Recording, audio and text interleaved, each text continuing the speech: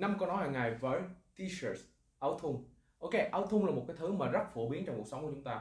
Và hôm nay mình sẽ chỉ cho bạn đó là năm câu nói mà các bạn hay gặp khi nói về chủ đề t-shirt nếu các bạn muốn khoe các bạn mới mua cái áo thì các bạn nói oh I just buy a new t-shirt. Còn nếu mà các bạn muốn hỏi một ai đó à cái áo này có hợp với mình không? Do you think this t-shirt suit me? Hmm. bạn có nghĩ cái áo này hợp mình không? Muốn hỏi cái áo của bạn tốn bao nhiêu tiền thì các bạn có hỏi, có thể hỏi đó là, how much does it cost for the t-shirt?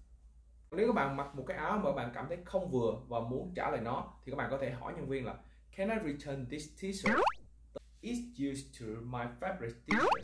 Có nghĩa là nó đã từng là cái áo yêu thích của tôi, nhưng bây giờ không phải nữa.